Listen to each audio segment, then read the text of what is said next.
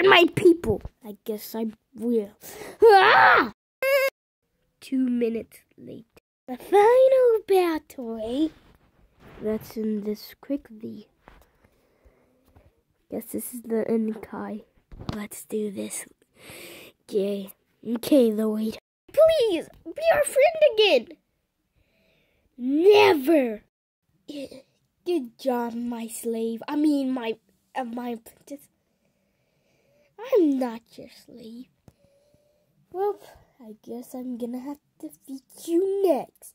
What? I thought you was my master. I'll use you, boy, to get your friend's power.